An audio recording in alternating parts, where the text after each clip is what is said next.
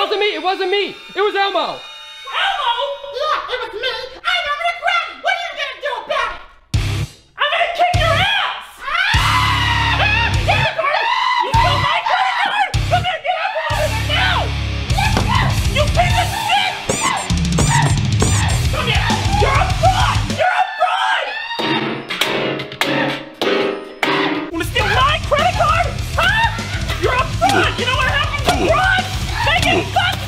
Rumble.